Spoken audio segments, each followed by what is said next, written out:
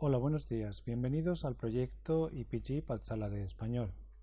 Me llamo Carlos Izquierdo Tobías y soy exprofesor visitante de Jamia Millia Islamia en Nueva Delhi.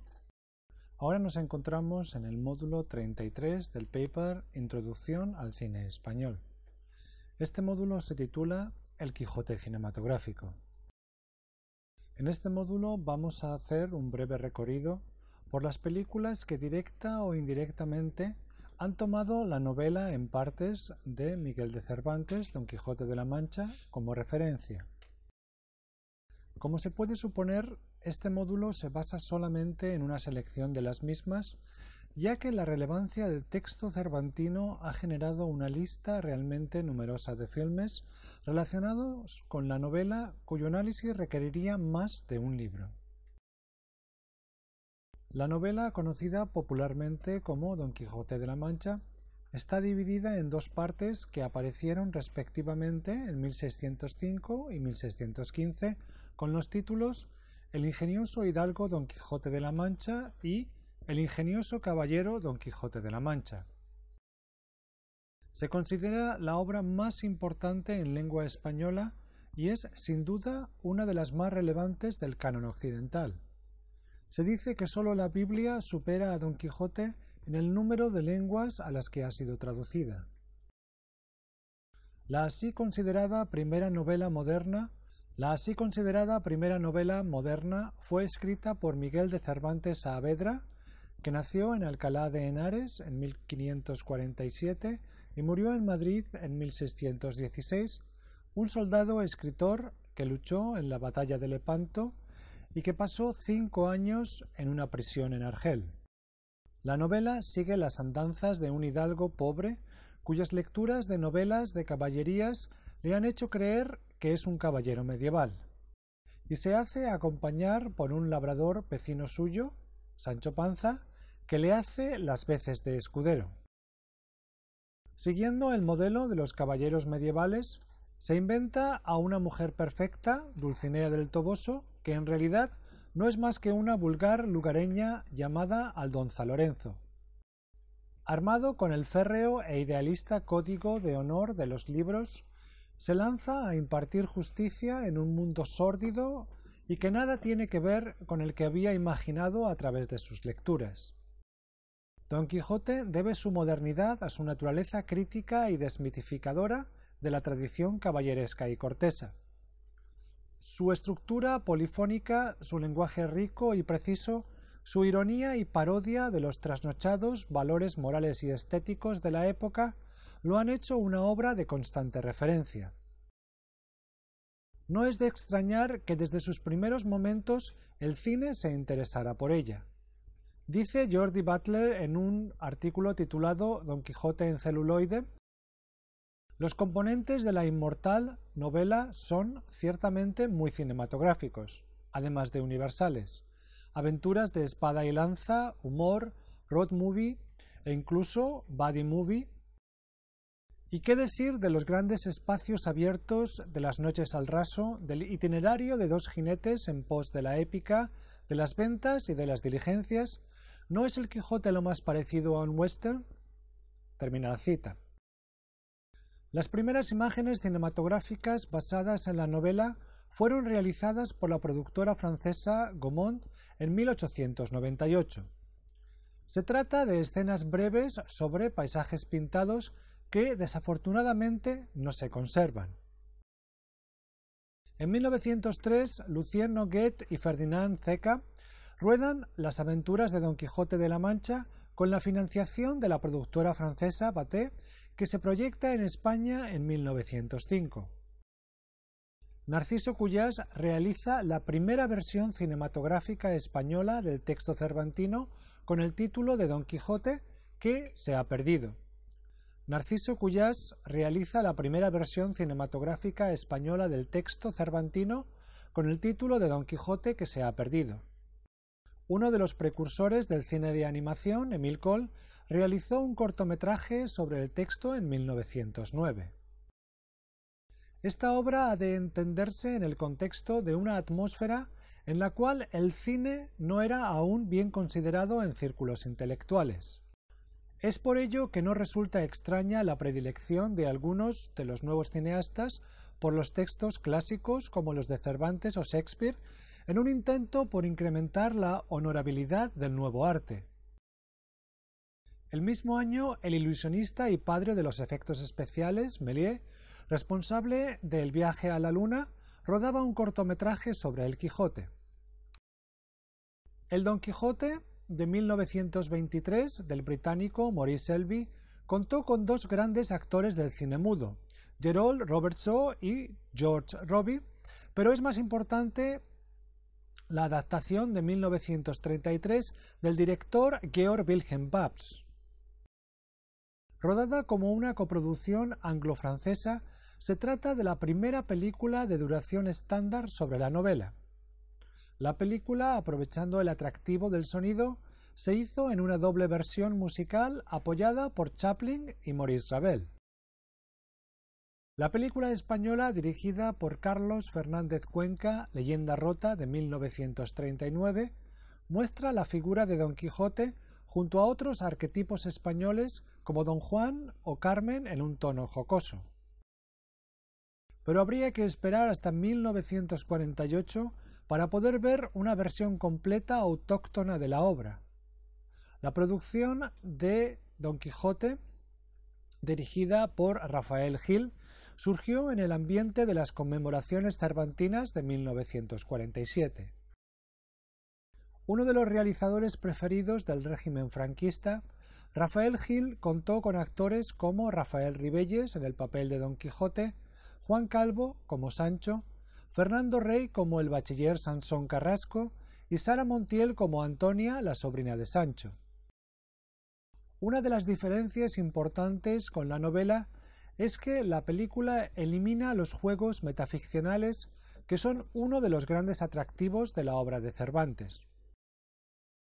La notable ambientación estaba a cargo del decorador Enrique Alarcón, muy familiarizado con la arquitectura de La Mancha, que hizo uso de fotografías para recrear detalles como ventanas o rejas. Esta escenografía estaba en la línea de las recreaciones históricas que la productora Cifesa estaba produciendo entonces, que Fernando Lara, en El Quijote Variaciones de un mito, ha definido como grandes decorados de cartón piedra, regusto arcaico y el tono de grandilocuencia y artificiosidad que caracteriza las grandes producciones de la firma durante la década de los 40. Termina la cita. Aunque el filme fue considerado de interés nacional, se trata de una versión académica y nacional católica del Quijote. Vamos a hablar ahora sobre las películas basadas en el Quijote a partir de los años 50. En los Estados Unidos vamos a hablar ahora sobre las versiones cinematográficas del Quijote a partir de los años 50. En los Estados Unidos de los años 50, la televisión se convirtió en la pantalla preeminente. En este contexto cabe destacar el género del teleplay que adapta piezas teatrales y novelas universales a la pequeña pantalla. Sidney Lamet realizó una versión del Quijote en este formato en el que el hidalgo era interpretado por Boris Karloff, que en 1931 había actuado de Frankenstein en la película de James Whale, y en esta película de Sidney Lamet también aparece Grace Kelly, la futura princesa de Mónaco, como Dulcinea.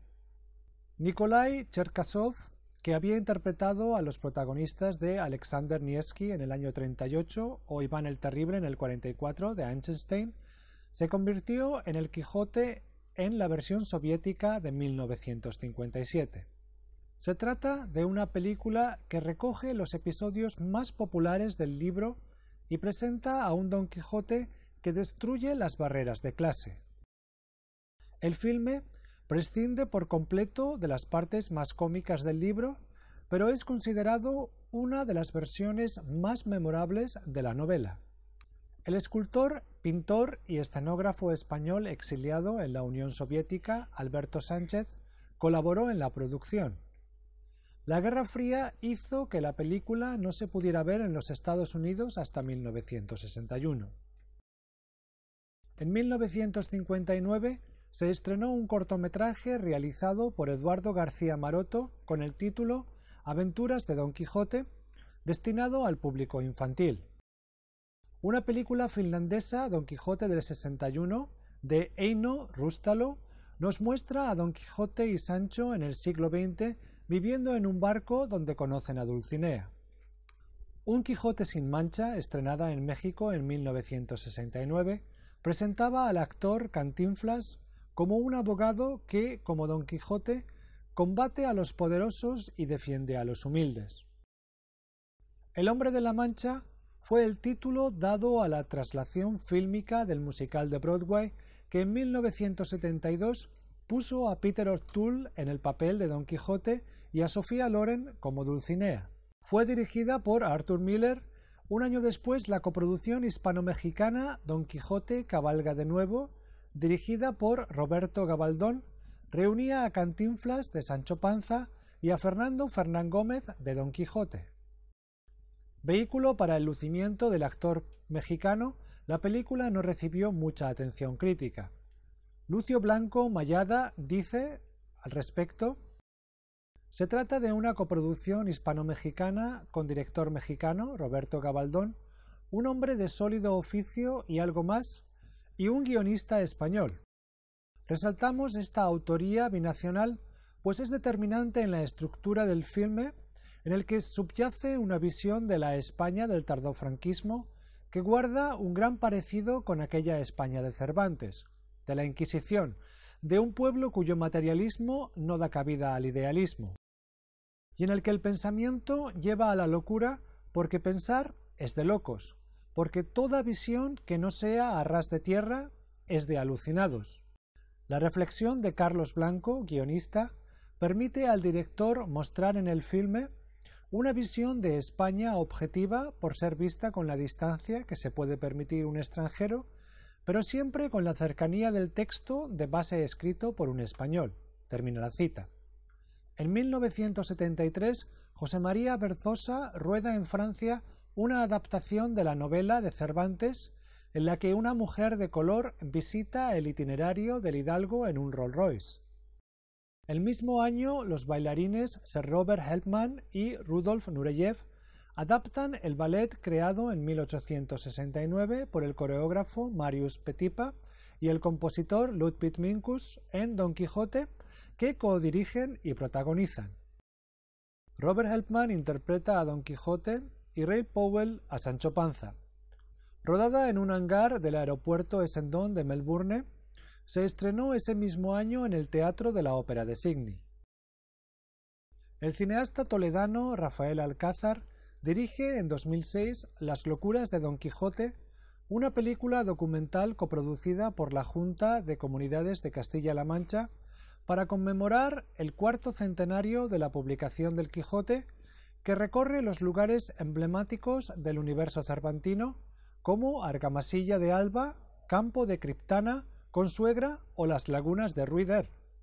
Las aventuras de Don Quijote se estrena en 2010 dirigida por Antonio Zurera. Se trata de una película de dibujos animados que fue nominada al Goya como mejor película de animación. Es creencia popular que existe una maldición que recae sobre cualquier intento de rodar la novela de Cervantes. Muchos proyectos han fracasado incluso antes de comenzar a rodar. Varios productores de Hollywood cayeron en la insolvencia antes de que el director de la versión pudiera decir el primer acción. Basten dos ejemplos memorables. El genio de Orson Welles no pudo llevar a término su ambiciosa versión de la obra por falta de presupuesto. El realizador norteamericano proponía una versión en la que Don Quijote recorría la España contemporánea, incluso asistiendo a la Semana Santa de Sevilla, a los Sanfermines de Pamplona y a las corridas de toros de su amigo Luis Miguel Dominguín.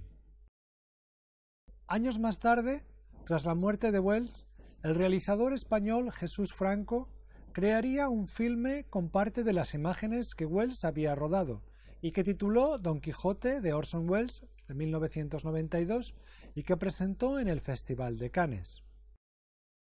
Francisco Regueira interpretaba a Don Quijote y Akim Tamirov a Sancho. Para hacernos una mejor idea de lo que la película ocultaba y de lo que Wells planeaba, echemos un vistazo a lo que André Bazin en su libro Orson Welles escribe. Hay que citar entre los filmes de Orson Welles El Don Quijote, rodado en agosto, septiembre y octubre de 1957 en México. Veremos a Wells en él contar a Patty McCormack tres episodios de 27 minutos cada uno de la novela de Cervantes en versión actualizada. Don Quijote acometiendo contra la pantalla de un cine para defender a la heroína del film proyectado defendiendo al toro contra el picador en una corrida de toros y haciendo arremeter a Rocinante contra una potente excavadora. Un último episodio aún no rodado mostrará la explosión de la bomba H. Termina la cita. En el 2000, el realizador Terry Gilliam, que había formado parte del grupo cómico Monty Python, y que había dirigido cintas tan notables como Brasil en 1985 o Doce monos en 1995, se aventuró en el rodaje de El hombre que mató a Don Quijote con Johnny Depp interpretando a Sancho y Vanessa Paradis a Dulcinea. Una serie de calamidades enturbiaron el rodaje como la hernia discal de John Roquefort, que interpretaba a Don Quijote, y que le impidió montar a caballo la presencia constante de aviones de la OTAN en el espacio aéreo y una inesperada inundación que arruinó el paisaje y dañó gravemente parte del equipo. El rodaje nunca se llevó a término. El documental Perdido en la Mancha de 2003 recupera la memoria de aquella producción tan accidentada y se convirtió en el primer documental de cómo no se pudo hacer una película. Terry Gilliam ha anunciado recientemente que tiene intención de reanudar el proyecto. Vamos a hablar ahora sobre las versiones televisivas del Quijote.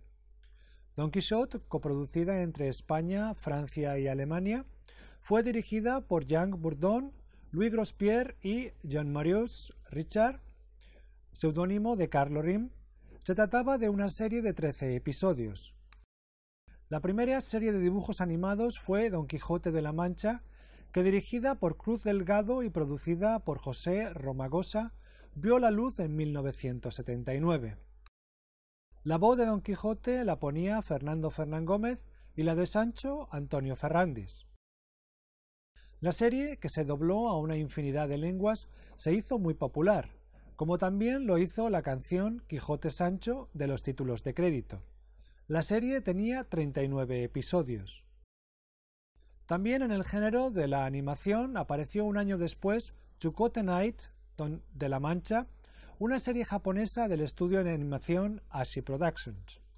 El célebre grupo de teatro, Els Comedians, participó en la versión televisiva Don Quijote del año 83 realizada por el prestigioso director de teatro Mauricio Escaparro, en colaboración con Rafael Azcona para el guion. El director español Manuel Gutiérrez Aragón es responsable de la realización de dos adaptaciones de la obra. La primera apareció en televisión española en 1992 bajo el título El Quijote de Miguel de Cervantes. Constaba de cinco capítulos basados en el primer libro, Constaba de cinco capítulos basados en el primer libro. Fernando Rey interpretaba a Don Quijote y Alfredo Landa a Sancho Panza. Se ha dicho que la película recupera la estructura del libro después de que muchas versiones hicieran del personaje de Don Quijote una figura autónoma de la novela. El guion corrió a cargo del Nobel de Literatura Camilo José Cela, la serie consiguió el premio a la mejor serie del Festival de Televisión de Cannes y Fernando Rey el premio al mejor actor. La segunda adaptación de Manuel Gutiérrez Aragón, El Caballero Don Quijote, de 2002, que podría considerarse una segunda parte de la anterior, fue protagonizada por Juan Luis Gallardo y Carlos Iglesias. Fue galardonada con el premio Ciudad de Roma a la mejor película latina en el Festival de Venecia. En el año 2000, Peter Yates dirigió en inglés Don Quixote, con John Lithgow de Don Quijote y Bob Hoskins de Sancho Panza. La película fue producida por Hallmark Entertainment. La influencia de la novela de Cervantes en el cine y en la cultura en general no se ciñe a las adaptaciones más o menos fieles del texto. El rastro del caballero Don Quijote se deja ver en personajes de filmes de muy diversa índole.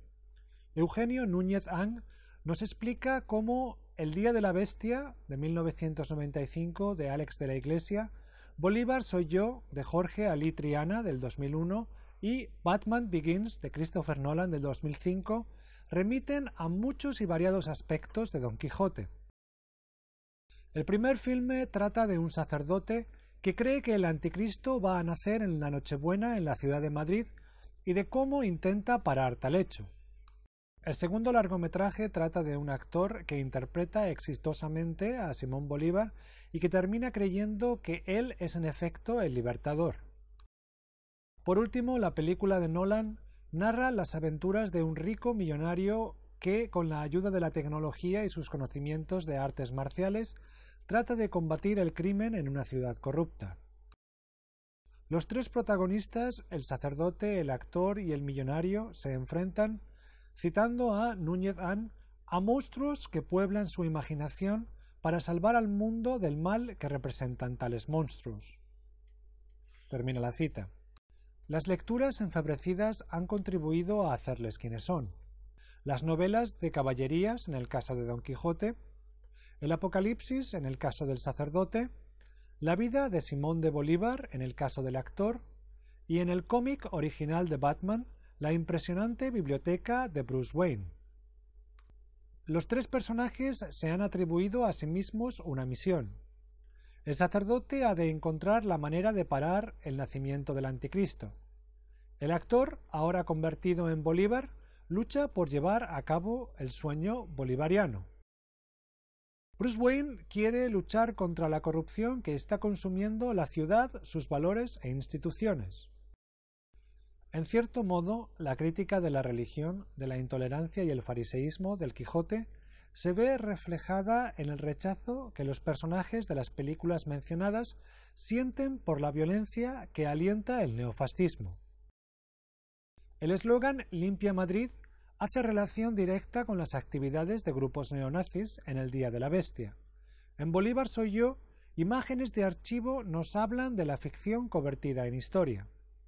En Batman Begins, la violencia es combatida con más violencia. Asimismo, los tres, sacerdote, actor y superhéroe, son seres idealistas que intentan restaurar el orden en un mundo en el que son tomados por locos o son rechazados. Finalmente, cabe destacar cómo estos tres idealistas van acompañados por su propio Sancho Panza. El sacerdote por José María, un aficionado al heavy metal de clase humilde. El actor por un pseudo guerrillero traficante. Y Batman, por supuesto, por Robin. Cuando los protagonistas, al igual que Don Quijote, se ven desmotivados, serán sus escuderos los que los animen a continuar participando de las fantasías de sus señores. Y terminamos aquí el módulo dedicado al Quijote cinematográfico en el que también hemos hablado de algunas de las versiones televisivas. Muchas gracias.